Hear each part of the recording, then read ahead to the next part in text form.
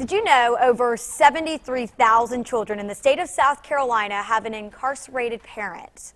That those children face many challenges growing up. Bicyclists Building Bridges is a group that is on a mission to support them. Andrea Morrison and Bertha Edmond joining me right now to talk about an upcoming fundraiser that they have. Thank y'all so much for coming in. Thank, Thank you, you, for having us. You are so welcome. Now, Andrea, let's start with you. You said you founded this organization. Tell us why and some of the challenges that these kids face.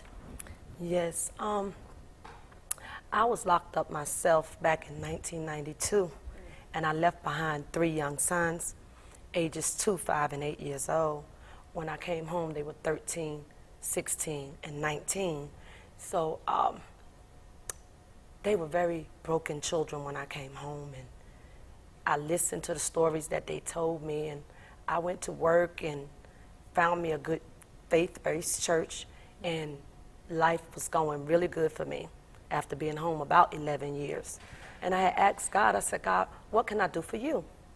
He said, do for children what you said no one did for your children. My children said if they could have visited me more, it would have made life a whole lot better for them.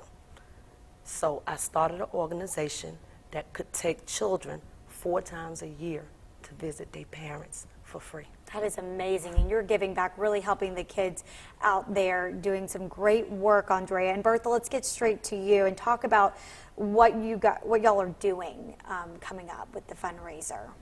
What we're doing, we're trying to get kids registered. So if anyone know of any children whose parents are incarcerated and those children can't get out to visit their parents, we're there for them to come on in, sign, get signed up with Bicyclists Building Bridges, and we're going to be the ones to work it out where we can take them to see their parents. That's wonderful. And where can someone sign up? Um, this coming Saturday um, at our um, location is 3601 Meeting Street Road, um, the old Tri-State building. We're doing a registration um, and a fundraiser because we're trying to raise funds to open our first community center here in Charleston, South Carolina for these children. And um, that day we're going to be have um, registration for kids to sign up and we'll start immediately taking them. And I have to their parents. I have to ask, are the inmates and the kids so appreciative of the of yes, you're doing? I yes, yes. Um, yeah. I have. Um, we have about 25 children in our program now that we've been taking on a constant basis.